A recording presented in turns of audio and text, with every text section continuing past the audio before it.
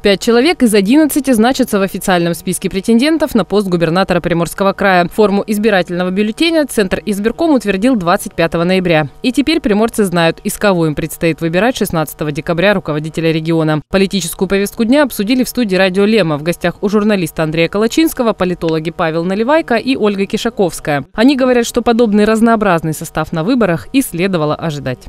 Мне кажется, это сейчас вот такой прям вполне себе объемный такой список, всеобъемлющий, да? Но не может объемный, быть, Ну, на самом деле, может, кого-то там действительно там КПРФ вот не хватает. Артема Самсонова я бы добавила. Подождите, Артем Самсонов не выдвигался. Почему вы не, не говорите о господине, о товарище Ищенко Андрея Сергеевича? Ну, он пошел в порядке самовыдвижения.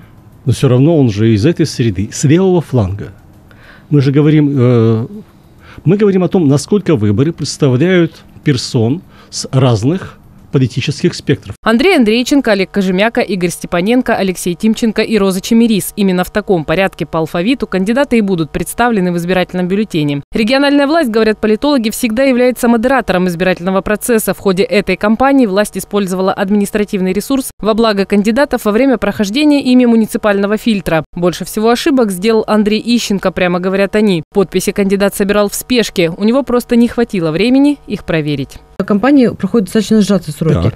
А при этом а, кандидат, наверное, дает себе отчет, учитывая, что он проходил уже эту процедуру, сколько нужно времени на то, чтобы а, собрать ну, Хочется думать, что он дает себе отчет, да, а не просто ну, получил пакет и отнес ну, он его. же уже, тот же самый Ищенко, он же уже проходил эту процедуру, он прекрасно понимает, сколько необходимо времени.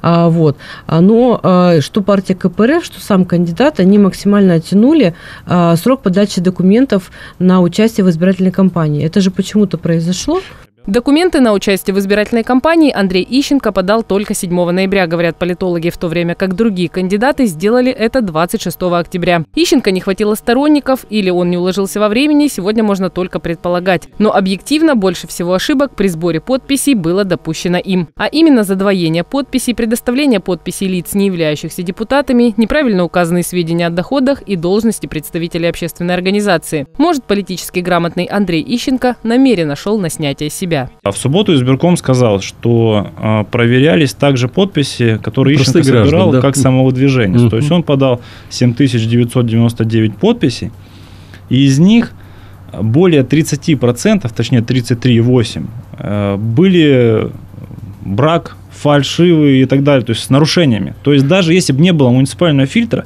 Ищенко бы не смогли зарегистрировать, так как он не добрал необходимого количества да. подписей. Результат сентябрьских выборов, говорят политологи, это рост протестных настроений после предложенной правительством пенсионной реформы. Народ не стал выходить на улицы, а проголосовал. Это говорит о политической грамотности населения, когда на принятие решений влияют цивилизованно. Никто из экспертов тогда не мог предсказать взлета Андрея Ищенко, как сегодня не могут предположить, кому 16 декабря будут в плюс голоса недовольных реформой. Однако политологи считают, что протестные настроения в крае снизились до минимума, а поддержка у власти, которая вышла на диалог с народом, возросла. Светлана Садовая, новости на восьмом.